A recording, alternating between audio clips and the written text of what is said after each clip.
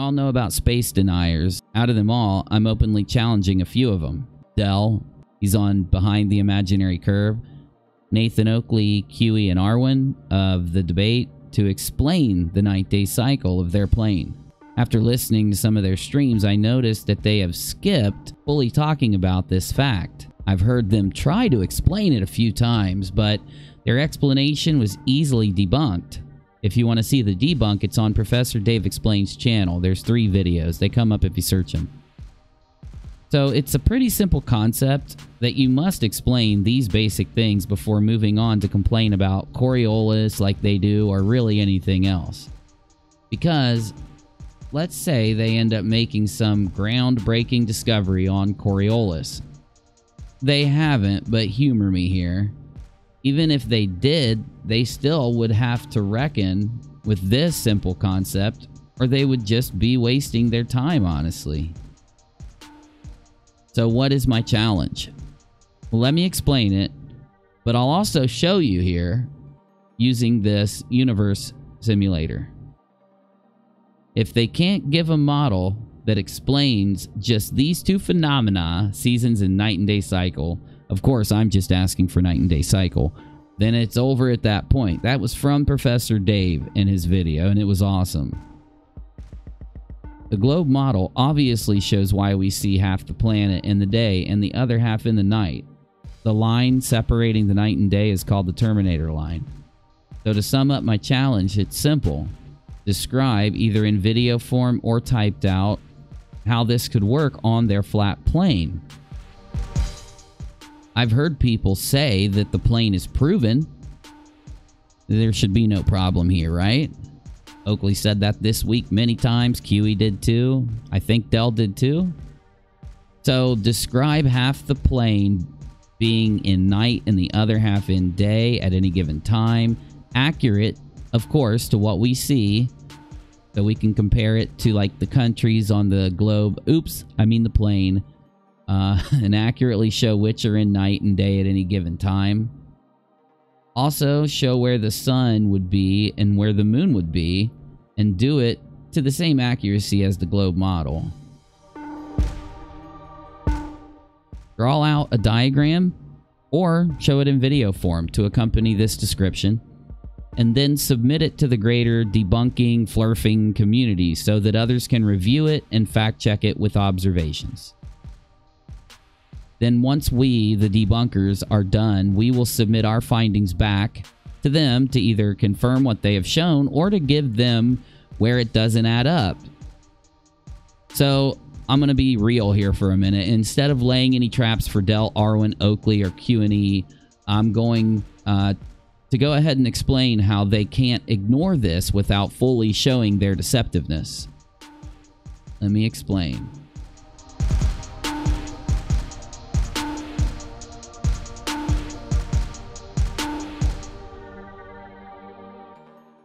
See, the Flurf debate team just went on an epic rant in a video called Master Science Presentation on the Quantum Eraser channel. Quantum Eraser! Sorry, I have to add that in. That's how he says his name, just trying to be real and accurate here. In this video, they talk about how important the scientific method is for quite some length. I think he compares it to him being on the front line in a war. They know as well as we do that the most important part of the scientific method is, of course, peer review. It is the backbone of the entire process and does not function without it. Without other people fact checking, testing, observing, and debunking or confirming our findings, a theory or statement is just not scientific or even slightly valid. This is something that is not stressed in their Master Science presentation, so I thought I'd be nice and correct for them with my open challenge here. Now, I know it's very likely they won't respond, so if they don't, hopefully some other channels will be up to the challenge. Something else happened during the Master Science presentation and in the stream after on Nathan Oakley's channel. Oakley complained on for an extended amount of time about how people don't take flurfs seriously or their opinions. Sleeping Warrior then chimed in himself and went on one of his most upset rants I've ever heard him uh, do. And yes, I think he was crying during it. The entire thing was centered around a paper that he wrote recently. I'll sum this up pretty quick. He said that the school system isn't teaching alternative thought in class and that it is against some law or something. He's dead wrong, of course. It all ends somewhere around here. The schools should have to teach other theories than evolution and space globe because other people out there think this is wrong and to deprive people from that representation is wrong. Eh, he doesn't really get the fact that if he wanted any other type of thought process taught, he would need to prove it and submit it for peer review and have people respond and go through the scientific process to get any other point represented. Now, why do I bring this up? Well, for two reasons. Because if these guys really thought their Earth was a plane, they would have compiled this challenge a very long time ago. 100% I believe they ignore these basic truths because they know that they are wrong about these things, and skipping ahead to the Coriolis or other convoluted arguments allows them to have more content and also confuse their listeners enough to keep them listening and donating. Maybe I'm wrong, maybe Nathan will respond. The other reason I brought up Sleeping Warrior's paper, though, well, I was going to add his name to this challenge, but after I read his essay, I realized that he has the mentality of a six year old, writes like one too, and this is probably why he acts like one. I'm not trying to be mean to the guy, but if you think I'm exaggerating, read his thesis. All right. So I can't wait to see their polite response and get to work debunking it. Now, I want to talk about exposure for a second, magnification, and some other values inside of my simulator. Let me let me do bring it up really fast. Let me make it bigger. You know that I surf the internet and I hear all these arguments from space deniers and flurfs and all these people, so I've always wanted to show them this. Now, when you go into a universe simulator, an algorithm, uh, a, a, modeling tool that shows us our universe, you, you notice that the way that light works can show you many different things. Like you're staring at a dark night right now. You can barely see one star right here. What is it? Altair? Okay. Gliese 768. White sub uh, subgiant.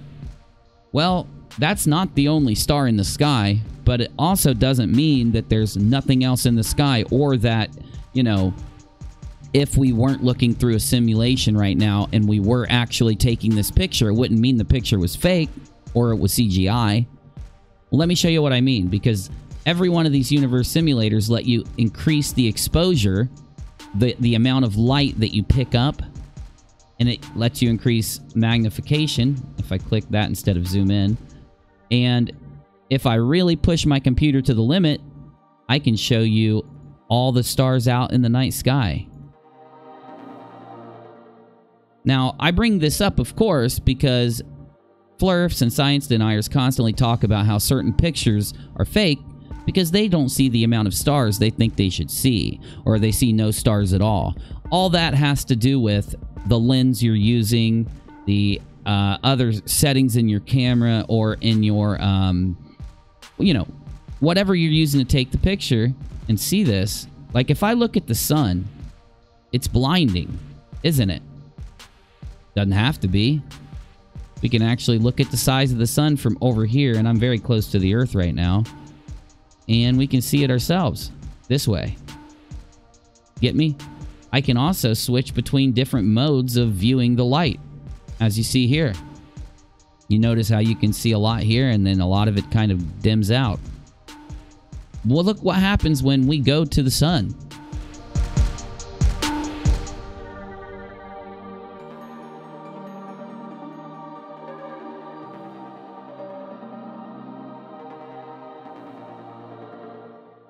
Well, now we can actually see it, and we can see some of the light that's around it. Let's go ahead and turn down the exposure. Now we can fly right into the thing. And it's not going to blind us. But what happens if we reset our exposure and our magnification or maybe set to a different kind of light? You see what I'm saying? Now, if we were to get a probe close to the sun and take a picture, people might say it's fake because there's no stars behind it but I could make the stars come up behind it. What's the problem? I gotta set it on manual first. What's the problem with that? The sun's gonna blind us. Doesn't mean it's fake. Doesn't mean the picture's not real. And if I do try to uh, push the settings, I'm of course going to break my algorithm. And I don't want to do that now, do I? So let's go ahead and get out of there.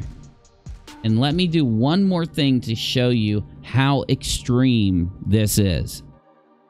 You could take a picture and see all the stars out. Let's get to a darker part of the sky. All the stars out in the sky. And what's cool about this simulator, I could click on one of them and go there. I'll do it in just a second. But if we could see what it really looks like with all the points of light shining and capture the light from these things, as you see right now, all we would see is a massive wall of light. But let's do something cool. Let's fly out here to Orion.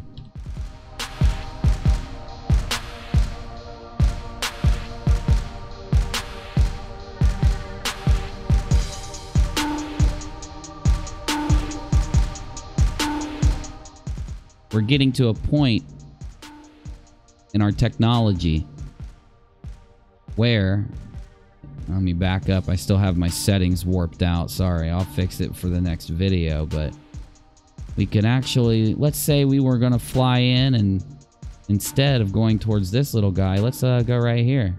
Now see that tiny little star right there? Might even be a planet. I'm going to try to get up really close to it. And I want you to see a little bit of perspective, a little bit of the incredible size of objects in the in the sky, in the night sky. Now, once we got close, look at this. Turns out, not a star at all. These are planets. It's orbiting this uh, star system right here in Orion. And look at how many of them there are. Well, look what happens if we turn down our magnification and our magnitude, uh-oh, I lost it. We can actually start to see a little bit of it. Now, I could go ahead and find it and track it around and all that. I'm not going to, but I hope I make a point. Those people out there that deny science, deny space, and deny the things we see, those of you that think that all of this stuff is fake because of these dumb reasons these YouTubers put out, like Nathan Oakley, Del, Arwijn, and all these other guys, maybe they're just ignorant to a lot of what's going on. Maybe if you open your mind a little bit, get out there and learn some stuff and actually push your push yourself and challenge the way you think, maybe you'd start to see something really really amazing. And to stress my point, let's just speed up time for a second.